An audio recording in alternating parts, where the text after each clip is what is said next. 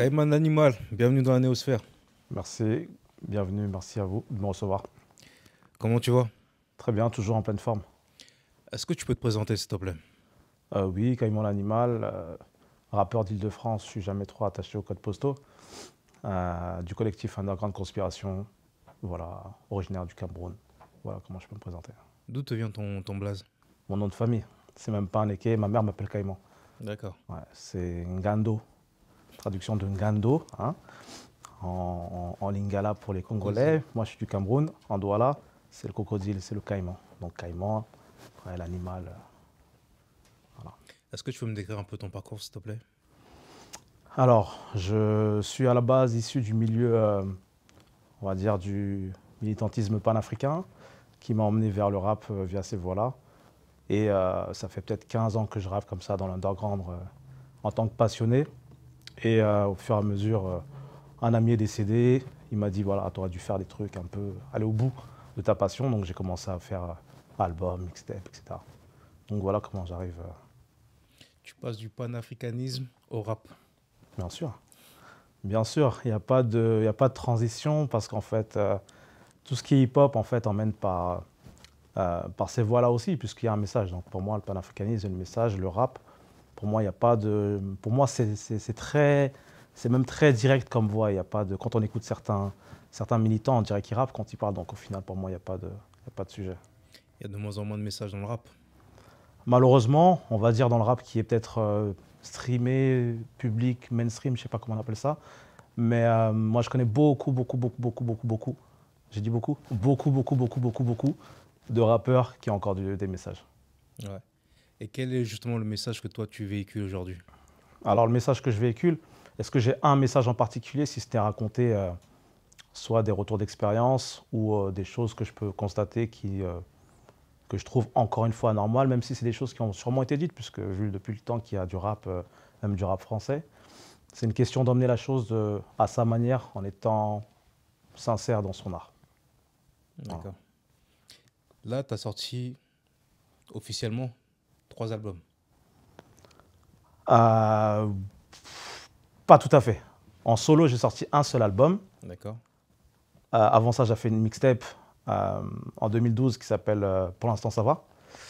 Ensuite, j'ai fait un album de collectif avec mon collectif Underground Conspiration, un éponyme qui a le même nom que le collectif. Ensuite, donc ça, c'est 2000 2016, 2017. Et je suis arrivé du coup avec mon premier album, du coup, ouais, vers 2017, fin d'année 2017, Écrire raturé. Euh, C'était un petit succès d'estime comme ça. Mais après, euh, ça m'a permis de rebondir de revenir euh, sortie de Covid, euh, euh, enfin sortie de Covid, sortie de premier confinement, puisque le Covid, je crois qu'il est encore euh, pas très loin, n'est-ce pas? Été 2020, enfin mai 2020 à peu près, avec un album en commun avec deux autres artistes, Situku et Monofoc. L'album s'appelle 3 points, disponible euh, Sur partout, plateformes. partout, toutes les plateformes en streaming. Donc euh, ça, c'est ce qu'on a fait. Et entre-temps, j'ai beaucoup, beaucoup, beaucoup écrit pendant le confinement, etc. Et du coup, euh, je me suis dit, il faut être productif. Il faut pouvoir marquer les années avec pas mal de projets, même si ce n'est pas des gros projets. Donc 2022, raison pour laquelle j'ai toqué à la porte de, de, de Grice TV, entre autres, euh, parce qu'il y a pas mal de choses qui arrivent, à commencer par une mixtape qui est sortie, Vision de l'invisible, qui est dehors depuis le 30 mars, disponible sur toutes les plateformes de streaming. Et euh, dans l'année, il y a pas mal de choses qui arrivent. Est-ce que c'est un choix voulu d'avoir autant de featuring sur ce projet? Oui, parce que le, le nom même de, de la mixtape, euh, il en découle. En fait, Vision de l'invisible, ça a beaucoup de, ça a beaucoup de, de- de thématiques et de sous-thématiques. C'est d'abord le principe de mettre en avant ce qui n'est pas visible, par définition, Vision de l'invisible. Donc, des artistes comme moi, qui ne sont pas connus, mais euh, via moi aussi, ramener des, potes, des amis, des MC que j'estime, qui sont autour de moi, qui ne sont pas connus, les ramener, qu'on aille tous vers le visible. Ensuite, il y a la thématique Vision de l'invisible par rapport au fait que c'est le projet où il y a le plus de visuels me concernant. Je crois qu'il y a au moins cinq clips qui tournent déjà. Et euh, Vision de l'invisible pour le côté un peu, euh, le côté un peu métaphysique, hein, avec tout ce qui est esprit, etc. Donc euh, voilà un petit peu ce, qui ramène, ce que je ramène dans, dans ce projet-là. En fait, moi, quand j'ai écouté le projet, je m'attendais à découvrir euh, Caïman l'animal. Et j'étais surpris qu'il y ait autant de featuring. C'est-à-dire que bah moi, aujourd'hui, Mhm. je peux pas te définir. Bien sûr. C'est parce que c'est une mixtape et que j'avais commencé déjà avec Récréaturé. C'est euh, aussi ça. Donc, c'est. Les gens vont rattraper, entre guillemets, le, le- le train en marche. Donc, c'est pas un projet, je vais me livrer euh, en tant que tel, où je vais avoir euh, peut-être 10 solos, on va pouvoir un peu euh, trouver l'essence de ce que je pratique comme style de rap ou autre. Mais au final, c'est vraiment une mixtape, hein, dans le sens pur et dur. Ça veut dire qu'il y avait des phases B, des, phases B connues, d'autres moins connues. Mais l'idée, c'est de ramener, ramener, partager. Et c'est un peu comme une récréation avant les choses qui vont arriver, qui seront, elles, un peu plus, on va dire, profondes et personnelles. D'accord. Pourquoi avoir mis une photo de Thomas Sankara sur la pochette du premier projet Bon, en fait, ça revient sur ce que j'ai euh, euh, évoqué tout à l'heure par rapport au parcours. Euh, même sans avoir fait ce parcours-là de, on va dire, militant, mais en fait, je le dis doucement, puisque le militantisme, c'est un, combat d'une vie, donc je ne vais pas trop m'étaler là-dessus, mais en gros, c'est Thomas Sankara, cette figure qui, est au plus respectable par rapport à son, son combat et ce qu'il a fait. Donc, il y, a, il y a Thomas Sankara, mais de l'autre côté de la pochette, il y a des Marcus Garvey, il y a pas mal de- de- d'activistes. Je vais rester un peu sur Thomas Sankara. Aujourd'hui, il y a le jugement de Blaise euh, Compaoré. Ouais. Est-ce que tu penses que c'est légitime en 2022 de faire ce jugement-là? Non, enfin, Sachant que les, Les Blaise, il est personnes. tout seul, Ouais. mais il manque des personnes sur, sur le banc des accusés. bien sûr. Après, ça, c'est c'est pas c'est médiatique, on va dire. J'ai envie de dire, c'est même presque politique ou, ou je sais pas comment donner un, un terme à ça, parce qu'au final, euh, dans le fond, euh, à quel moment on, on- on- on attrape Compaoré euh, Quel impact ça a sur ce qu'il a déjà fait ou ce que ça va Pour moi, ils auraient pu l'attraper ou ne pas l'attraper. C'est une symbolique plus qu'autre chose. Je pense qu'il n'y a pas vraiment d'intérêt en tant que tel. Mais surtout, tu l'attrapes pas parce que c'est toi qui l'as En plus, qui l'a ordonné. Clairement, clairement. Donc, euh, franchement, c'est c'est un épouvantail, c'est un château de paille. C'est quelque chose qui a, au fond, ça ne sert pas à grand chose en vérité. On va parler un peu politique parce que tu connais, c'est mon domaine. Rap and politique, ça va Toujours, ensemble. toujours. Quand tu vois la situation, par exemple, dans ton pays Mhm. d'origine, Ouais, ça fait Ouais. plus de 35 ans que Biya est au pouvoir. ouais. Comment tu. Comment, qu'est-ce que j'en pense? Ouais. Alors, qu'est-ce que j'en pense? Il y a deux écoles. Quand, quand je parle de ça, c'est-à-dire qu'il y a un côté de moi-même qui pourrait se dire, ah, de base, en premier lieu, je me dis, non, mais il faut que ça change. Il faut que ça change, euh, dans le sens où, euh, bien sûr, comme dans pas mal de pays chez nous, il y a des choses qui ne vont pas, etc. Euh, Il y a des gens aussi qui vont me dire, ouais, mais on va changer pour qui? Parce que, effectivement, il y a des gens qui vont se dire, bah voilà, après, à qui profite? Maintenant, dans ça, c'est. bien sûr, on ne va pas vouloir d'une énième tête de- mise en place par la politique euh, occidentale, mais je pense qu'il y a, y a des gens qui peuvent faire reprendre, parce que, quand même, 35 ans, ah, si là, les gens se plaignent de Macron pour un doublé de quinquennat, là, c'est même plus des quinquennats, le gars fait des. C'est un jubilé qu'il peut faire à la fin. Donc, mais euh, pour moi, là, le, le règne de Paul Biya, parce que là, c'est carrément un roi, c'est ses ministres en vrai qui règnent. hein. Lui, il est là, euh, c'est ses ministres qui viennent, qui font les choses. Donc après. Il vit pas, il vit pas là-bas. Ouais, en plus, voilà, c'est c'est un peu comme euh, un Cameron dans le, dans, dans le, le- le- le battle avec euh, Jadakis et, et le reste. Il est, plus, il est plus sur New York, mais il continue à parler d'eux. Mm. Mais euh, le- ouais, le problème de ça, c'est que euh, il faut, il faut donner la parole, je pense, aux, aux locaux, même encore plus que nous à la diaspora. Il y a des gens sur place qui, qui pourront encore mieux répondre ou, qui même qui peuvent se présenter. Après, on sait comment ça se passe. La politique, surtout en Afrique, c'est assez spécifique. Donc, mais ouais. Est-ce que tu écoutes du rap euh, du Cameroun? Oui, j'écoute. Alors, j'écoute pas euh, autant que je voudrais. C'est une question de. C'est une garder ce côté un peu diggers.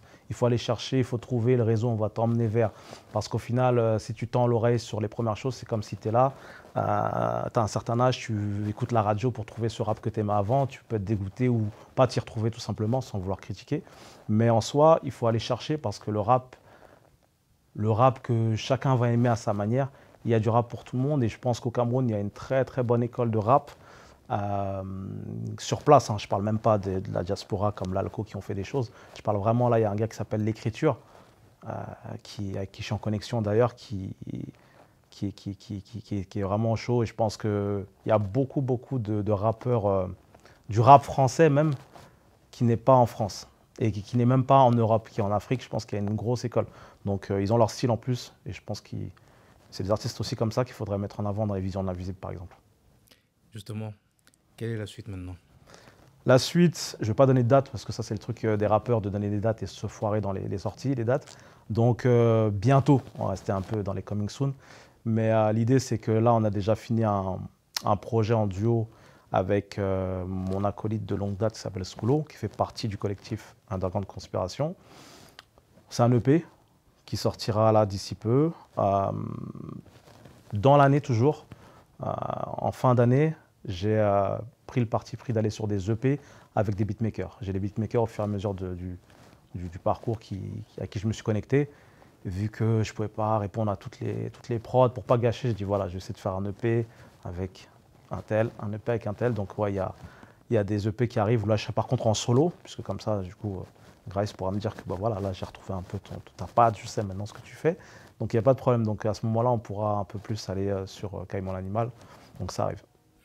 Qu'est-ce qui te manque pour que tu passes de vision de l'invisible à la vision du visible? Vision d'invisible pour passer au visible? Alors, c'est des fois du réseau. C'est-à-dire que au-delà du talent, parce qu'à une époque, on aurait pu d'abord commencer par le talent. Euh, le talent, après, c'est le public qui, va en, qui en juge ou pas, etc. Mais euh, au jour d'aujourd'hui, c'est du réseautage pas mal, si, on veut une exposition beaucoup plus grande. C'est-à-dire qu'il y a des moyens, il y a un sérieux, il y a un professionnalisme à, donner aussi à son, son, art. Et après, il y a quand même du réseau. Parce qu'on peut être peut-être le meilleur rappeur dans sa chambre. Si ça ne sort pas, si on n'a pas euh, peut-être même l'attaché de presse, hein, etc., si on ne met pas le, les, sous, euh, les, sous qu'il faut, et eh ben, à un certain niveau, ou quand on n'a pas les contacts, ce n'est pas qu'une question d'argent, en fait, on, va rester à un certain niveau si on ne fait pas de clips, si on ne fait pas de. etc. si on ne fait pas d'interview, hein, néosphère ou, autre. Mais euh, l'idée, c'est d'emmener son art vers.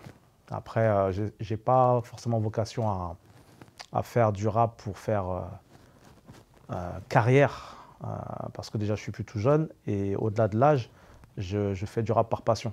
C'est-à-dire que je travaille et à côté, je fais du rap. Donc, euh, je fais ce que je veux, ce qui me plaît en tant que passionné. Donc, après, c'est là où ça doit. À l'heure actuelle, c'est toujours la passion qui te pousse à écrire, à, composer? Toujours, toujours. Sinon, euh, euh, en tout cas, c'est pas l'argent, puisque sinon, j'aurais arrêté hein, le, rap en tant que tel, en tout cas de la manière dont je le pratique ou ce que je dis dedans. à l'heure actuelle, c'est pas quelque chose qui, qui génère euh, une certaine économie. Donc en vérité, c'est de la passion. On a commencé le rap en tant que passionné. Je suis plus même presque un auditeur qu'un rappeur. J'ai plus d'années en tant qu'auditeur que de rappeur, je crois.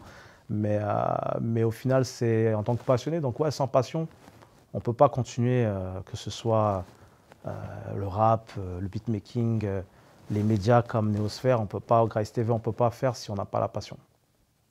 Ou alors on vient faire un braquage comme pas mal de, d'artistes viennent faire. On, vient, hein, on, vient prendre la place d'Eddie Kaplan dans Braco, et puis on vient essayer de faire une signature comme ça. Mais après, là, c'est autre chose, c'est pas la passion. Du coup, on peut les interviewer et demander qui est Akhenaton, ils ne connaissent pas. voilà. Mais je pense que c'est même plus des braquages, c'est des crédits euh, à la banque. Ah, oui, après, ouais. C'est l'illusion du braquage. Ils rentrent avec la cagoule, mais au final, euh, il bosse, il bosse euh, au guichet de la Société Générale, il bosse euh, et puis il fait ses heures, quoi. Mais, euh, mais il ne sait pas. Après, au final, chacun, chacun, chacun va chercher ce qu'il a envie. Après, le problème, c'est quand on est mal informé. Si la personne y va sciemment et qu'elle sait que c'est son but et qu'elle veut faire ça, ça la regarde. On n'est pas là, on, ne nourrit pas les, familles des gens. Mais après, c'est le côté passion. Je pense que tout est cyclique.